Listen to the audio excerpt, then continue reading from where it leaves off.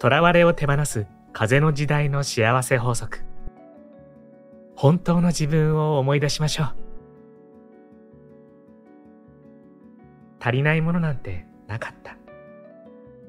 ある朝、ベッドから起きてリビングから見える海を見た途端に突然それは起こりました。あ、世界が停止して三次元が裂け、時間のない世界に入ったかのような不思議な体験。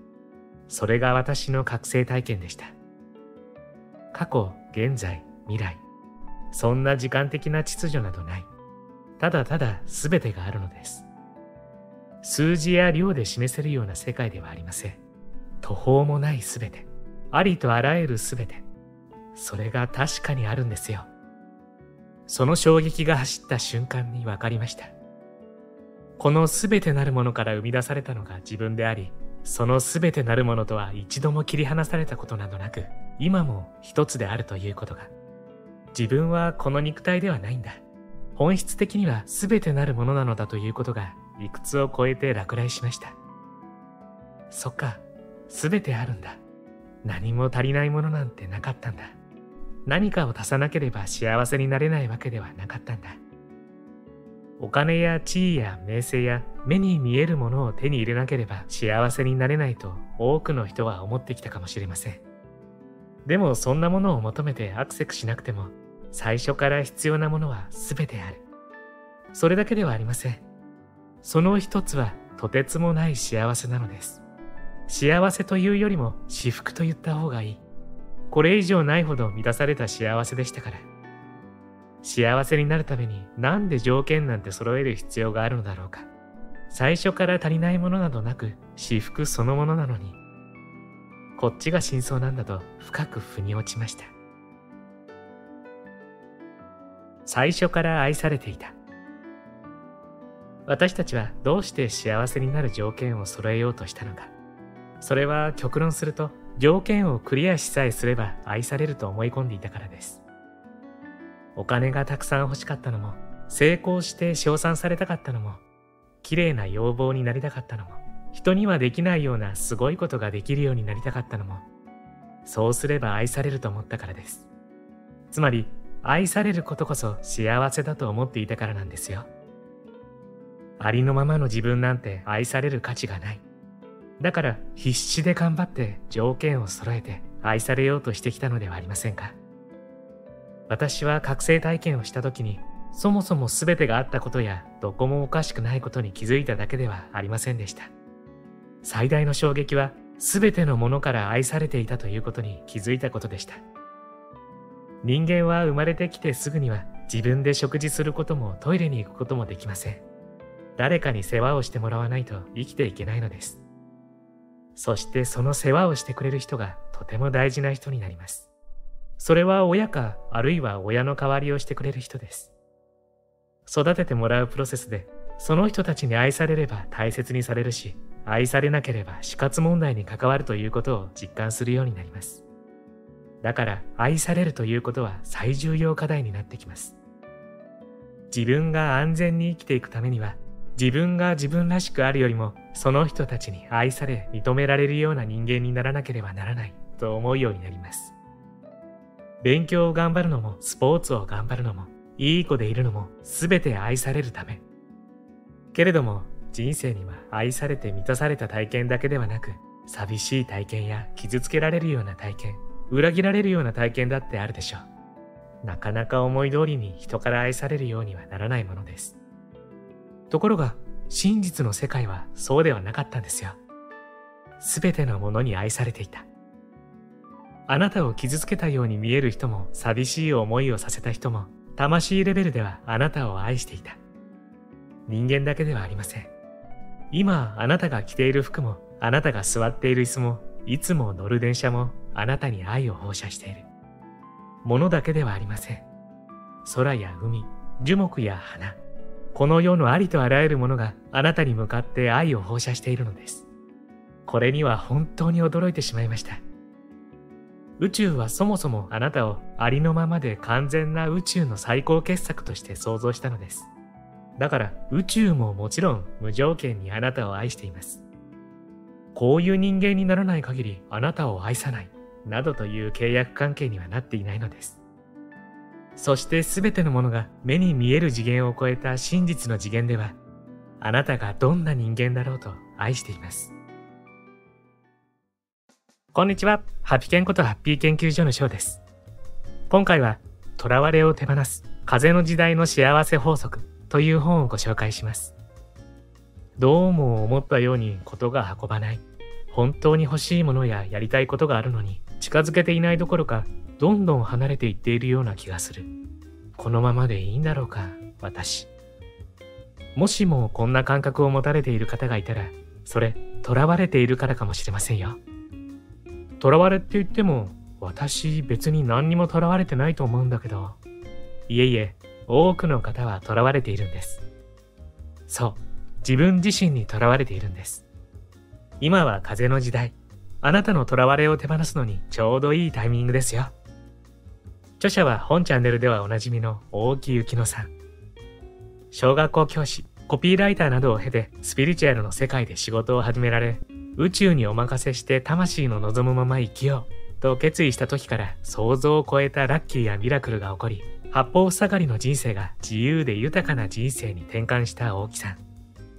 本チャンネルでもとにかくたくさんの本をご紹介させてもらっている大好きな作家さんの一人です。そんな彼女が自分自身の囚われを手放してこれからの時代を幸せに生きていく方法を教えてくれるのが本書なんです。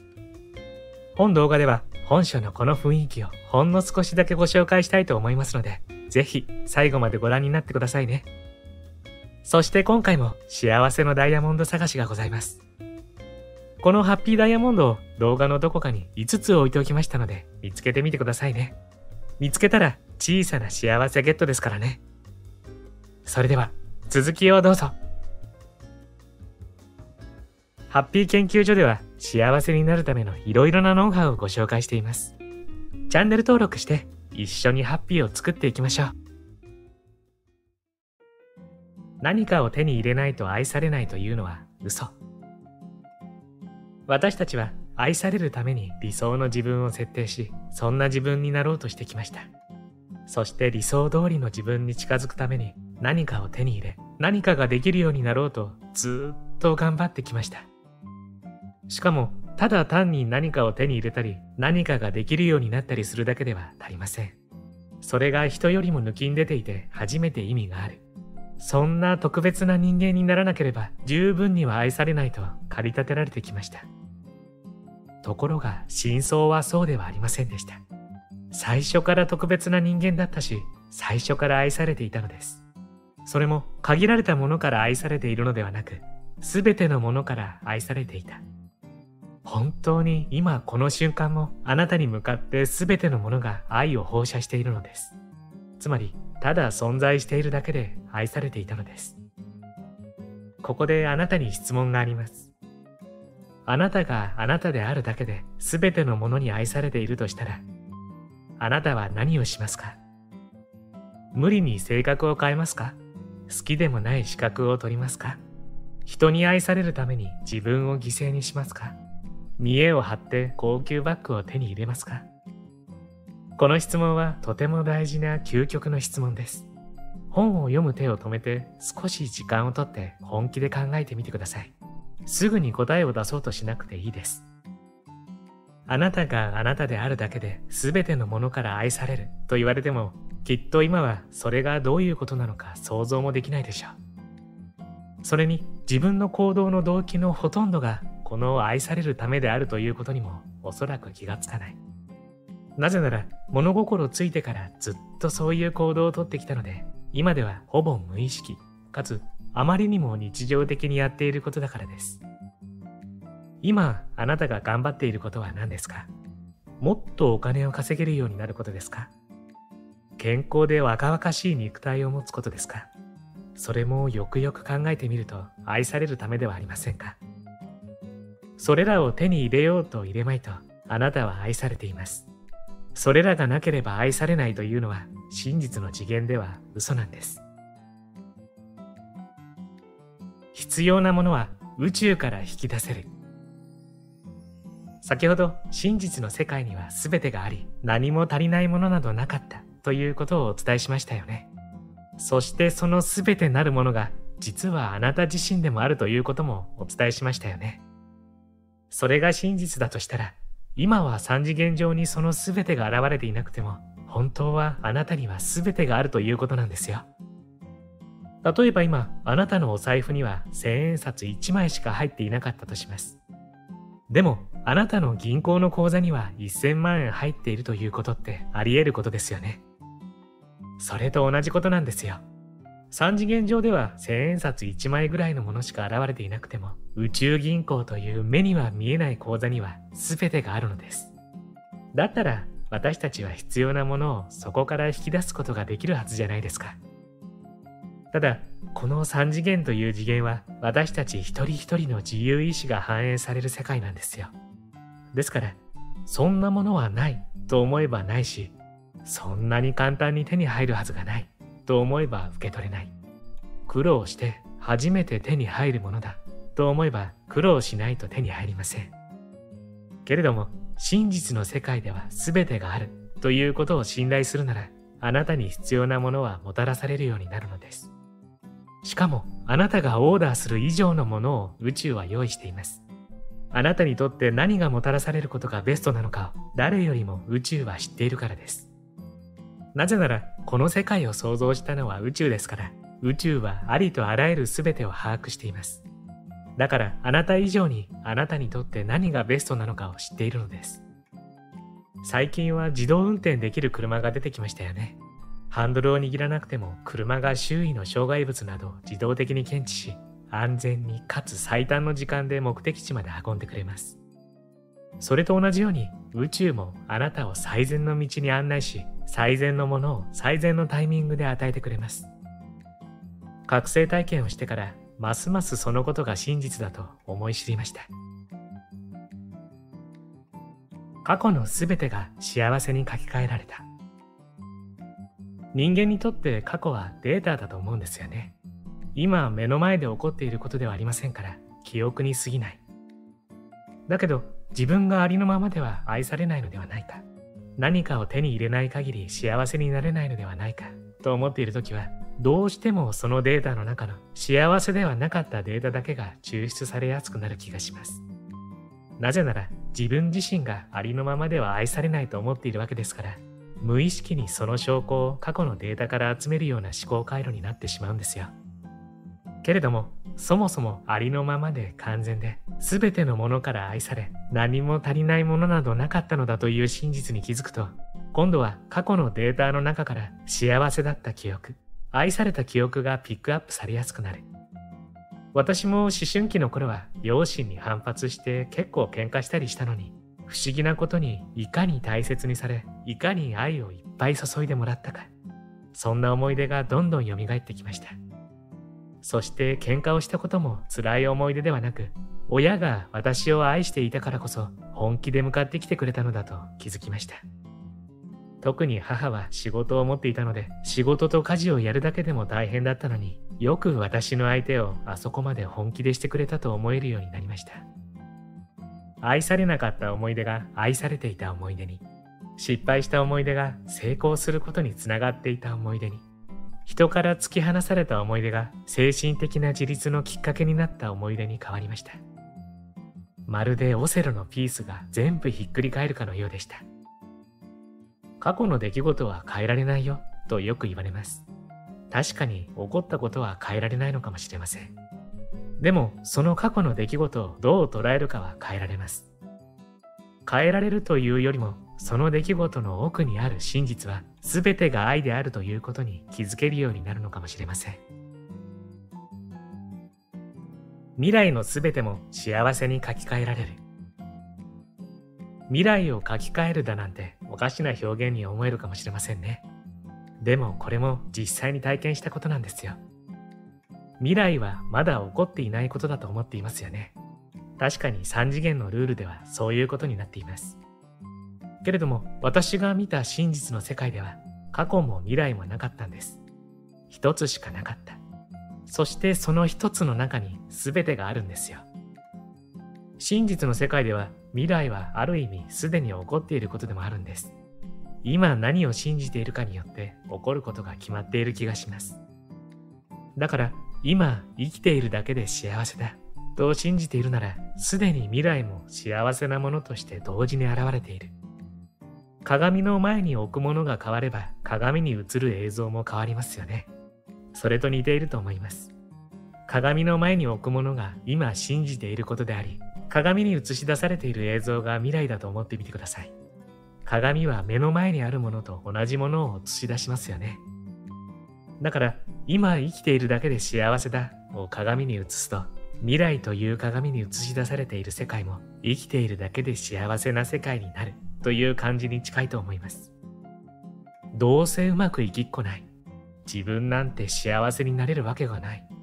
何かを手に入れない限り幸せになれない。そんな風に信じているとしたら、その信じていることが未来に立ち現れる。だから何を信じるのかがとても大事だと思います。たまたま3次元には時間というものがあり、その時間軸上では未来は今の先にあるというルールがあるだけなんですよ。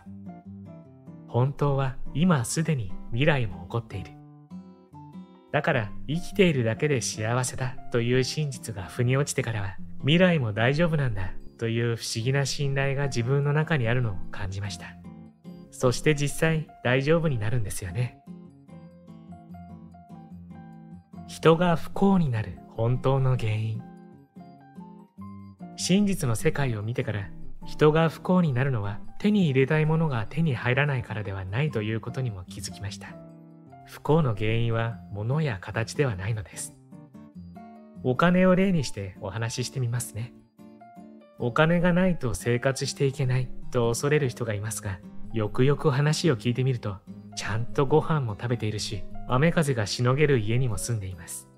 着る服もある。ちゃんと生活しています。お金も全くないわけではない。つまり、何かが手に入っていないこと自体が人を不幸にするわけではないのです。これはとても重要なことなので、しっかり理解してくださいね。人が不幸になる本当の原因。それは、手に入ったものがなくなったらどうしようと思う不安や恐れ。自分の価値を物や形、数字で目に見えるように示さなければ見捨てられるという恐れ。これらの恐れに支配されることなんですよ。その意味では、いくら物や形や目に見える数字や優位を手に入れようとも、恐れに支配されている限り人は幸せにはなれないんですよ。なぜなら何度も言うように恐れをベースに生きているとしたら恐れていることが三次元上に現実化していきます。そうなるとますます恐れが巨大化し心が休まることがなくなるので不幸だと感じるんです。幸せになろうとして頑張っているつもりなのに気づかないうちにお金や数字、物や形に支配されやらなくていいことや本当はやりたくないことに駆り立てられてしまう。そうするとどんどんストレスが溜まっていきます。だけどこの戦いから離脱することはすなわち不幸のどん底に落ちていくということだと思っているからそこから抜け出すどころかますます無理を重ねてしまうんです。もう私たちはこの悪循環に気づいていい。すべてがある。ありのままで完全だ。そもそも私服そのものだ。ということが真実だとしたら、あなたは安心して好きなことをしませんか？喜びのままに生きられるようになると思いませんか？もしもあなたがそんな生き方をするようになったなら、あなたの世界は喜びの世界として現実化するのです。何かがあろうとなかろうと、いつも変わらず生きているだけで幸せだと感じられるでしょう。そして、やりたくないことを不幸にならないためにやろうとする戦いから潔く離脱すれば、必要なものどころか想像を超えるものまでももたらされるようになります。あなたは何を信じることもできます。あなたの意志であなたが幸せになる方を選んでください。どうなるのか先が読めるようになる。真実の世界には時間というものがなく、ただただ全てがあり、その全てなるものが自分でもあるということをすでにお話ししましたよね。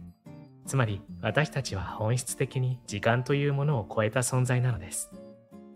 そして未来というものが今信じていることを映し出す世界でもあるということもお伝えしましたよね。だから特別な能力がなくても自分の今信じていることが何なのかが分かっていれば自分にこの先起こることもある程度見通せるようになります。ということは逆に今自分の信じていることを変えれば未来を変えることもできるとも言えます。どうせうまくいかない。ありのままの私なんて全然ダメだ。手に入らなくなったらどうしよう。もしもそっちに意識が向いていて、それを信じている自分に気づいたら自分に言ってください。あなたは何を信じるか選べるんですよ。幸せになる方を選ぶこともできるんですよって。そして正気に戻ったら吐く息とともに不安を吐き出してください。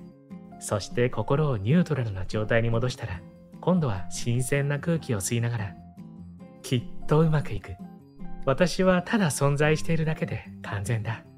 何かを失ったとしても私は変わらず幸せなままだ。ということを自分の奥深くに浸透させてみてください。そうすれば信じていることを変えることができます。だんだん慣れてくると自分の現在地がどこなのかも敏感に察知できるようになります。そして恐れに支配されそうになっても立ち止まり方向転換できるようになっていきます。これも練習です。やりながらその感覚を身につけてください。あなたはそろそろ真実を思い出していい。真の幸せに満たされていい。そしてあなたの背中には自由の翼が生えていることを思い出してほしいのです。大丈夫。あなたは忘れただけで全く知らないわけではありませんから。この本を読み進めるうちにきっと真実を思い出すでしょう。そして呪縛から解放され、真の幸せに満たされ、必要なものが勝手にやってくる人生に転換できるでしょう。さて、真実を思い出す心の準備はできましたか？早速、私が覚醒体験で見た真実の世界がどんな世界だったのかお話ししていきたいと思います。今回もプロローグ程度のご紹介でしたが、本書の雰囲気伝わりましたでしょうか？地の時代と風の時代を対比しながら、いかに自分自身が自分を縛っていたかに気づかせてもらいました。普通はこうでしょ？とか、あんなことやってみっともないとか、つい反射的に思っちゃいますよね。その、こうあるべきっていう自分の中の思い込みを少しずつほぐしていくことが自分らしく生きる第一歩なんですね。そう、この風の時代は自分を楽しむのに最適な時代なのですものね。とはいえ、なかなか自分の中の囚われを手放すのは難しいもの。本書を読みながら、あ、これもいいんだ。こう考えてもよかったんだ。って本当の自分を思い出していきましょう。興味のある方は、ぜひ読んでみてはいかがでしょうか。そうそう、皆さん、冒頭にお伝えしたハッピーダイヤモンド、見つかりました？ダイヤモンドの数は全部で5つでしたよ。どうです？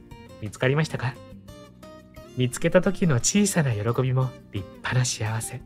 見つけたあなたは幸せを一つ積み重ねてハッピー度が上がってますからね。最後までご視聴ありがとうございました。これからも皆様の幸せづくりに役立つ情報をまとめていきたいと思いますので、チャンネル登録や高評価をしていただけるととっても嬉しいです。また次回の動画でお会いしましょう。皆様に幸せが届きますように。